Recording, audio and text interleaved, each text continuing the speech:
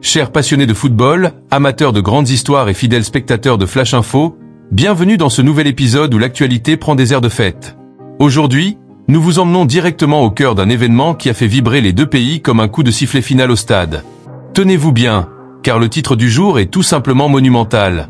Samuel Eto'o en mode VIP, rencontre étoilée avec le président du Niger à la présidence de la République. Préparez-vous pour une plongée sensationnelle dans l'univers du football africain, où les légendes du ballon rond croisent les chemins des dirigeants étatiques. Samuel Eto'o, l'icône incontestée du football, a fait le déplacement pour une audience qui fera sans aucun doute parler d'elle. Mais ne vous précipitez pas, car cette rencontre n'est pas juste un simple tête-à-tête, c'est le début d'une collaboration qui pourrait bien redéfinir le paysage footballistique du continent. Restez avec nous jusqu'à la fin de cette vidéo pour découvrir tous les dessous de cette rencontre de haut vol. Flash Info se donne pour mission de vous offrir l'essentiel de l'actualité avec une touche d'humour et d'originalité. Ici, chaque détail compte, chaque histoire mérite d'être racontée avec panache et chaque événement est une opportunité de vous surprendre. Alors, avant de plonger dans le vif du sujet, n'oubliez pas d'appuyer sur j'aime pour propulser cette vidéo dans l'univers, de vous abonner pour ne rien manquer de nos futures exclusivités, et d'activer la cloche de notification pour être le premier à connaître les dernières nouvelles. Prêt pour le grand plongeon? Allons-y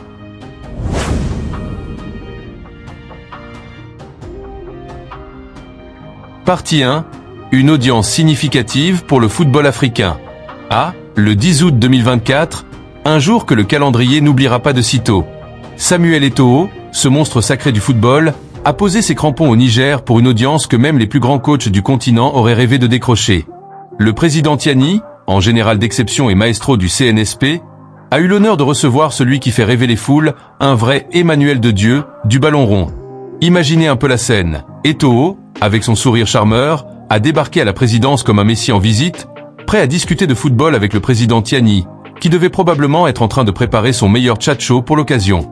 Les awards de la FNIFoot, les menadors, étaient sur le tapis de cette rencontre, comme les Oscars du football nigérien, une cérémonie où chaque trophée brille autant que les étoiles du ciel nocturne. Les deux hommes se sont retrouvés pour discuter non seulement de l'avenir du football, mais aussi des stratégies pour booster le football africain à l'échelle mondiale. Évidemment, la réunion n'a pas été une simple poignée de main. Non, non. C'était plutôt un grand show, un véritable spectacle où chaque geste, chaque parole avait la portée d'un coup de tête décisif en finale de la Coupe du Monde. L'accueil réservé à Eto'o a dû être à la hauteur de ses exploits. Des confettis volants, des tambours résonnants, et peut-être même une petite danse traditionnelle pour célébrer le plus grand des ambassadeurs du football africain. Après tout, quand le roi du football arrive, c'est toute la cour qui se met sur son 31. Partie 2, Samuel Eto'o, un ambassadeur du football africain. Quand Samuel Eto'o sort de son entrevue avec le président Tiani, il n'y a pas de doute, le roi est de retour en grande forme. Et il le fait savoir avec une grâce et un panache digne de son palmarès. Imaginez la scène. Eto'o, tout droit sorti de cette rencontre prestigieuse, s'exprime avec une aisance que seuls les champions du monde peuvent se permettre.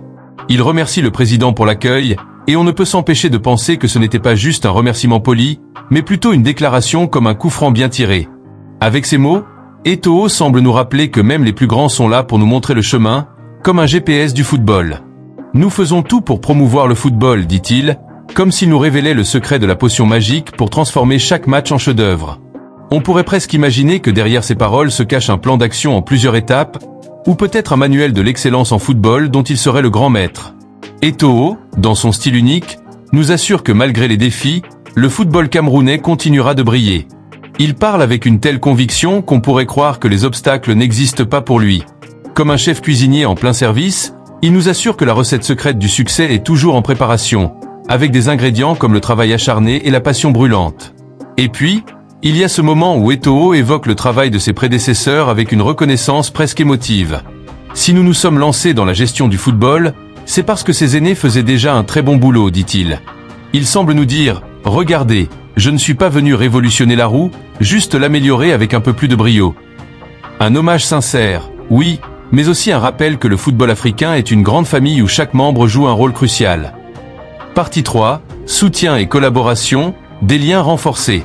Ah, le soutien entre Samuel Eto'o et le président Tiani, c'est comme une alliance entre le vin et le fromage. Ça marche à tous les coups. En voyant Eto'o saluer le travail du président de la Fédération nigérienne de football, le colonel-major Djibriya Ima Dipele, on pourrait presque entendre les applaudissements résonner dans les tribunes.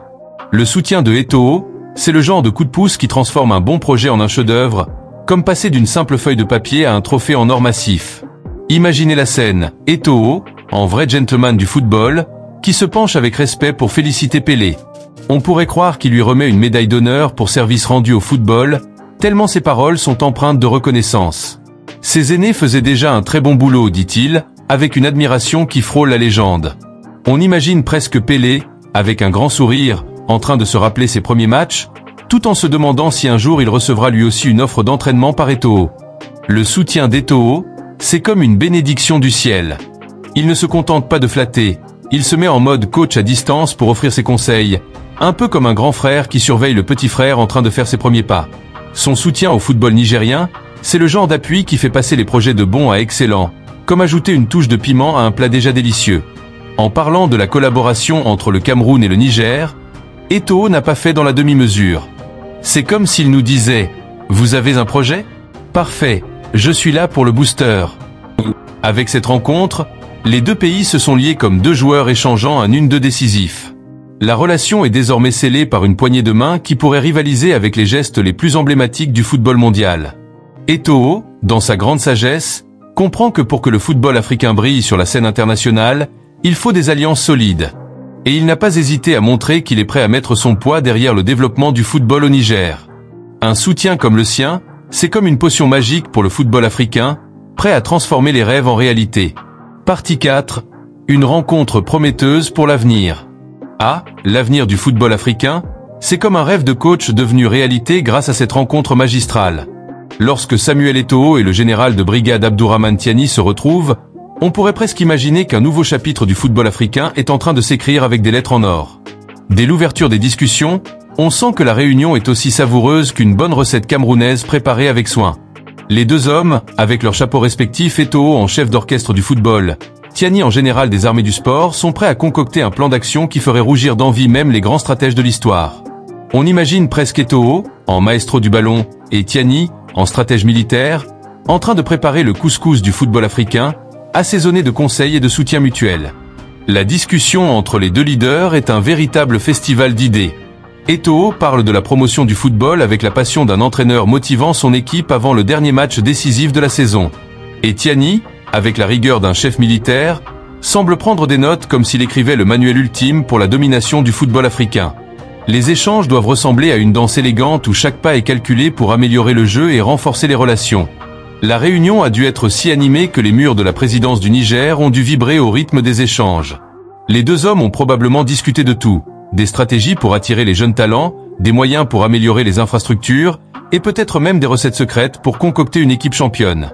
On imagine même qu'à la fin de la réunion, ils ont échangé des maillots comme des souvenirs, avec un clin d'œil en direction de la Coupe du Monde, comme si ce rendez-vous était le premier pas vers une victoire mondiale. Les membres du CNSP, présents en spectateurs privilégiés, ont vu en direct le début d'une nouvelle ère pour le football africain. La collaboration entre le Cameroun et le Niger, c'est un peu comme le mariage de deux grandes familles de football, unissant leurs forces pour créer une dynastie de champions. La réunion a été une véritable démonstration que les grandes ambitions peuvent se transformer en réalité palpable, tant que les grands noms du sport se mettent autour de la table. En conclusion, la rencontre entre Samuel Eto'o et le président Tiani est un signe fort de l'engagement des deux nations pour l'avenir du football africain. Cette collaboration ouvre de nouvelles perspectives et promet un avenir radieux pour le sport sur le continent. Nous vous invitons à partager vos réflexions sur cette rencontre dans les commentaires ci-dessous. Pensez-vous que cette collaboration aura un impact significatif sur le développement du football en Afrique? N'oubliez pas d'aimer cette vidéo et de vous abonner à notre chaîne pour ne rien manquer de nos prochaines exclusivités. Merci de nous avoir suivis, et à très bientôt sur Flash Info.